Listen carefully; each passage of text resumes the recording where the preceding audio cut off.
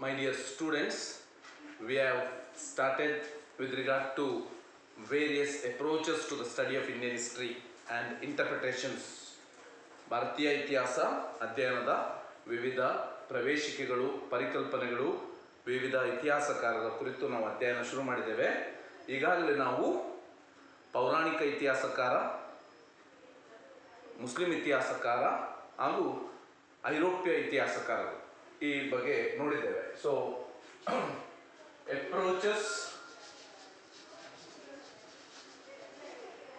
to the study of Indian history ಅಲ್ವಾ?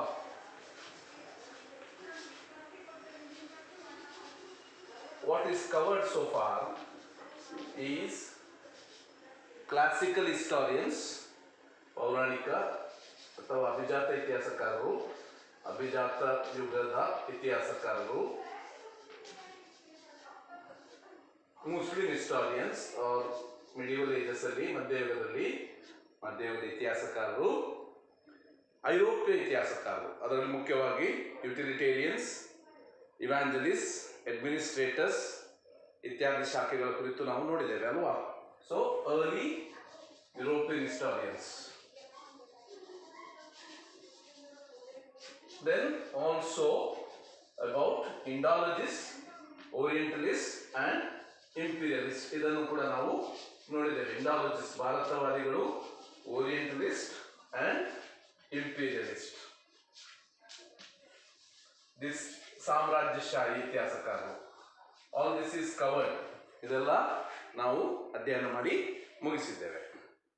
ಇವತ್ತು ನಾವು ಭಾರತೀಯ ಇತಿಹಾಸದ ಕುರಿತು ಅಧ್ಯಯನ ಮಾಡಿದ ರಾಷ್ಟ್ರೀಯವಾದಿ ಇತಿಹಾಸಕಾರರ ಕುರಿತು ನೋಡೋಣ. ಆಮೇಲೆ ರಾಷ್ಟ್ರೀಯವಾದಿ ಮಾರ್ಕ್ಸಿಸ್ಟ್ ನ್ಯಾಷನಲಿಸ್ಟ್ ಮಾರ್ಕ್ಸಿಸ್ಟ್ ಇತಿಹಾಸಕಾರರ ಕುರಿತು ಕೂಡ ನೋಡೋಣ.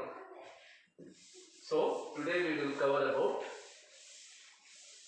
the nationalist historians working in the field of history of India. Nationalist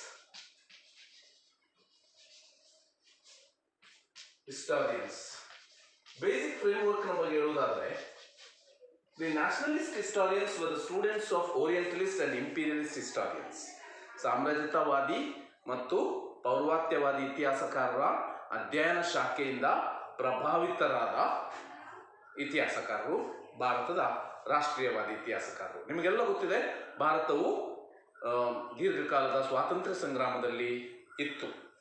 ಸ್ವಾತಂತ್ರ್ಯ ಸಂಗ್ರಾಮದ ಕಡೆ ಹೇಗೆ ಭಾರತೀಯ ರಾಜಕೀಯ ನಾಯಕರುಗಳು ಅಥವಾ ಭಾರತೀಯ ಕೃಷಿಕರು, ಕಾರ್ಮಿಕರು ಆಸಕ್ತರಾದರೋ, ಅದೇ ರೀತಿ ಭಾರತೀಯ ಇತಿಹಾಸದ ವಿದ್ಯಾರ್ಥಿಗಳು ಕೂಡ, ಇತಿಹಾಸದ ತಜ್ಞರು, ಪಂಡಿತರು ಕೂಡ ಸ್ವಾತಂತ್ರ್ಯದ ಹೋರಾಟದಲ್ಲಿ ಮಹತ್ವದ ಭಾಗವಹಿಸಿದರು.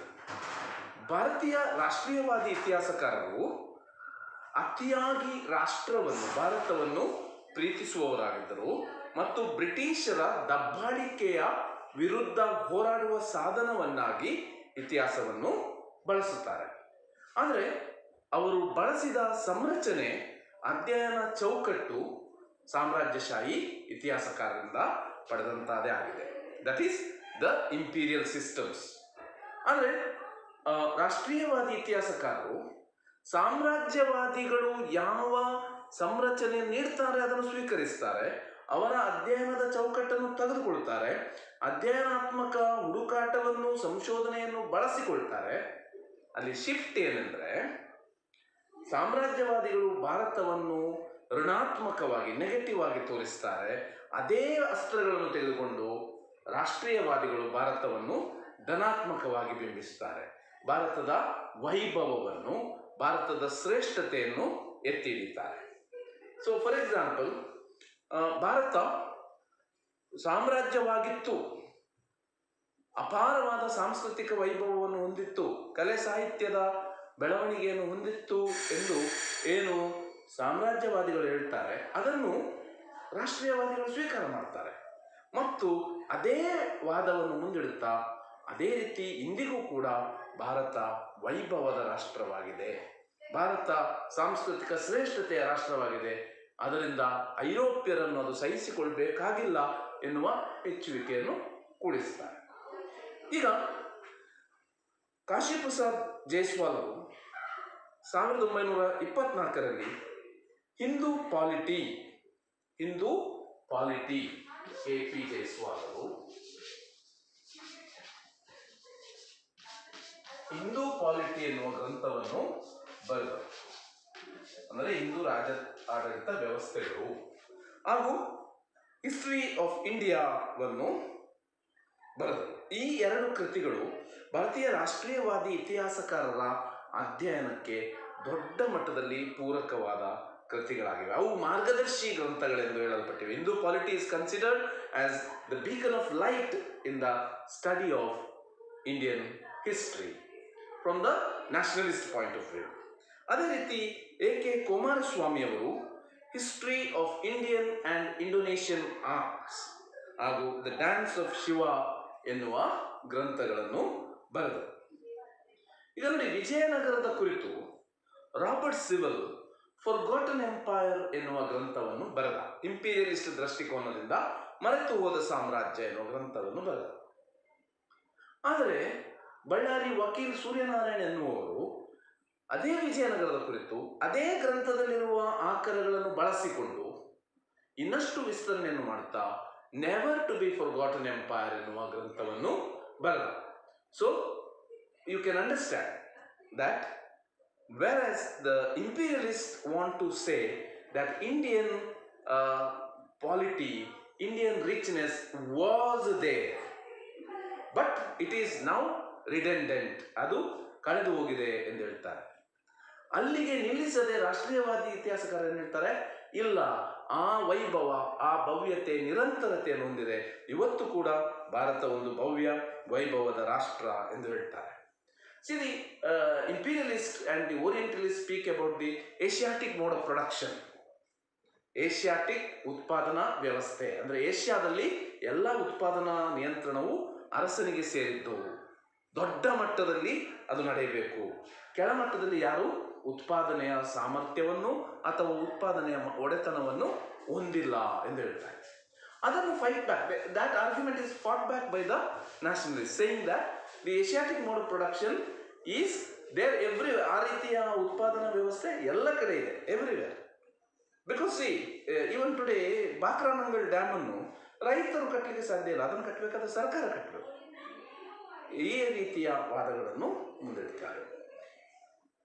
ಕೆ ನೀಲಕಂಠ ಶಾಸ್ತ್ರಿಯವರು, ತಮಿಳು ಸಾಮ್ರಾಜ್ಯಶಾಹಿತ್ವದ ಶ್ರೇಷ್ಠತೆಯನ್ನು ಸಾಕ್ತಾರೆ. ಅವರ ಚೋಳಾಸ್ ಎನ್ನುವ ಗ್ರಂಥ ಸಾವಿರದ ಒಂಬೈನೂರ ಮೂವತ್ತೈದರ ಚೋಳಾಸ್ ಅಥವಾ ಸಾವಿರದ ಒಂಬೈನೂರ ಇಪ್ಪತ್ತೊಂಬತ್ತರ the Pandya kingdom from the earliest times to the sixteen century, the Tamil kingdoms of South India ಸಾವಿರದ ಒಂಬೈನೂರ ನಲವತ್ತೆಂಟರಲ್ಲಿ ಬಂತು. ಇವುಗಳು ದಕ್ಷಿಣ ಭಾರತದ ರಾಜಕೀಯ ಇತಿಹಾಸದ ಅಧ್ಯಯನದಲ್ಲಿ ಮಹತ್ವದ ಪಾತ್ರವನ್ನು ವಹಿಸಿವೆ. ಕೆ ನೀಲಕಂಠ ಶಾಸ್ತ್ರಿಯವರು ದಕ್ಷಿಣ ಭಾರತದಲ್ಲಿ ದೊಡ್ಡ ರಾಷ್ಟ್ರೀಯವಾದಿ ಇತಿಹಾಸಕಾರರೆಂದು ಹೆಸರಾಗಿದ್ದಾರೆ. Romesh Chandra ಮುಖರ್ಜಿಯವರು R C Mukherjee sorry R C Majumdar Romesh Chandra Majumdar ಅವರು advance history of India history of culture of India history and culture of Indian people ಎನ್ನುವ ಸೀರೀಸ್ ಮಾಲಿಕೆಯನ್ನು ಬರೆದಿದ್ದಾರೆ. ರೋಮೇಶ್ ಚಂದ್ರ ಮು- ಮಜುಮ್ದಾರ್ ರಾಷ್ಟ್ರೀಯ R advanced Majumdar advance history of India history and culture of Indian people the early history of Bengal Vakataka Gupta age corporate life of ancient India ಮುಂತಾದ ಮಹತ್ವದ ಗ್ರಂಥಗಳನ್ನು ಬರೆದಿದ್ದಾರೆ. ಅದೇ ರೀತಿ ರಾಜೇಂದ್ರ ಲಾಲ್ ಮಿಶ್ರಾ ರಾಹುಲ್ ದಾಸ್ ಬ್ಯಾನರ್ಜಿಯವರು ಭಾಸ್ಕರಾನಂದ ಸಾಲೆತ್ವರರು ಇಂತಹ ಮಹತ್ವದ ರಾಷ್ಟ್ರೀಯವಾದಿ ಇತಿಹಾಸಕಾರರನ್ನು ನಾವು ಕಾಣ್ತೇವೆ.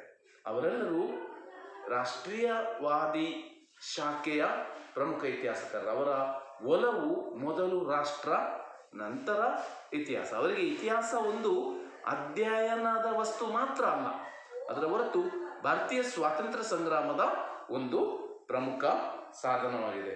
ಆರ್ ಜಿ ಭಂಡಾರ್ಕರರು, ರಾಮಕೃಷ್ಣ ಗೋಪಾಲ ಭಂಡಾರ್ಕರರು, ವೈಷ್ಣವ ಧರ್ಮದ ಕುರಿತು, ಶಾತವಾಹನದ ಕುರಿತು, ದಕ್ಕನದ ಕುರಿತು ಕೃತಿ ರಚನೆ ಮಾಡಿದರು.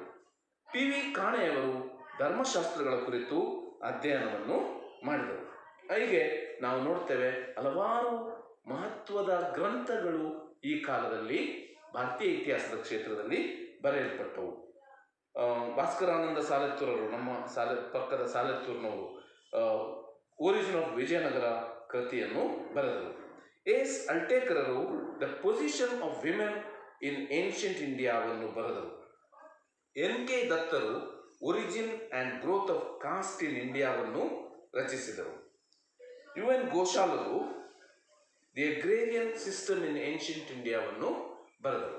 ಇಲ್ಲಿ ಇನ್ನೊಂದು ವಿಷಯವನ್ನು ನೀವು ಗಮನದಲ್ಲಿಡಬೇಕು. ಬರೇ ರಾಜಕೀಯ ಇತಿಹಾಸ ಮಾತ್ರವಲ್ಲ, ರಾಷ್ಟ್ರೀಯವಾದಿ ಇತಿಹಾಸಕಾರರು ಸಾಮಾಜಿಕ ಬದುಕಿನ, ಆರ್ಥಿಕ ಬದುಕಿನ ವಿವಿಧ ಆಯಾಮಗಳ ಕುರಿತು ಕೃತಿ ರಚನೆ ಮಾಡ್ತಾರೆ. ಹೀಗೆ ನಾವು ಸ್ಪಷ್ಟವಾಗಿ ತಿಳ್ಕೊಳ್ಬೇಕು ಒಂದನೇದು, ರಾಷ್ಟ್ರೀಯವಾದಿ ಇತಿಹಾಸಕಾರರು ಇತಿಹಾಸ ಅಧ್ಯಯನವನ್ನು ರಾಷ್ಟ್ರೀಯ ಸಂಗ್ರಾಮದ ಸಾಧನವನ್ನಾಗಿ ಬಳಸ್ತಾರೆ. ಎರಡನೇದು, ಸಾಮ್ರಾಜ್ಯವಾದಿ ಮತ್ತು ವಸಾಹತುವಾದಿ ಹಾಗೂ ಪೌರ್ವಾತ್ಯವಾದಿ ಇತಿಹಾಸಕಾರರು ಯಾವ ರೀತಿ ಇತಿಹಾಸ ಅಧ್ಯಯನದ ಹೊಸ ಹೊಸ ಸಂಶೋಧನಾತ್ಮಕ ಆಕರಗಳನ್ನು ಹೊರಗೆ ತಂದರೋ ಅವುಗಳನ್ನು ಬಳಸ್ತಾರೆ, ಆ ಸಂಶೋಧನೆಗಳನ್ನು ಬಳಸ್ತಾರೆ. ಅದೇ ಭಾಷೆಯಲ್ಲಿ ಆ ಸಾಮ್ರಾಜ್ಯವಾದಿಗಳಿಗೆ, ಪೌರ್ವಾತ್ಯವಾದಿಗಳಿಗೆ ಉತ್ತರವನ್ನು ಕೊಡ್ತಾರೆ. ಕೆಲವು ವಿಷಯಗಳನ್ನು ನಾನು ಹೇಳಿದೆ. For example Asiatic mode production ಅಥವಾ ಡೆಡ್ ಪಾಸ್ಟ್ ಭಾರತದ ವೈಭವ ಹಳೆಯ ಕಾಲದ್ದು, ಪ್ರಾಚೀನ ವೈಭವ ಮಾತ್ರ ಎನ್ನುವಂಥದ್ದು, ಇಂಥ ಚಿಂತನೆಗಳಿಗೆ ಅವರು ಪ್ರತ್ಯುತ್ತರವನ್ನು ಕೊಡುತ್ತಾರೆ. ಇನ್ನೊಂದು ಮುಖ್ಯ ವಿಷಯ ಏನಂದರೆ, ರಾಷ್ಟ್ರೀಯವಾದಿ ಇತಿಹಾಸಕಾರರು ಬರೇ ರಾಜಕೀಯ ಇತಿಹಾಸ ಮಾತ್ರ ಅಲ್ಲ ಮಾನವ ಬದುಕಿನ ಭಾರತೀಯರ ಬದುಕಿನ ವಿವಿಧ ಆಯಾಮಗಳ ಕುರಿತು ಕೂಡ ತಮ್ಮ ಕೃತಿಗಳಲ್ಲಿ ತಿಳಿಸುತ್ತಾರೆ.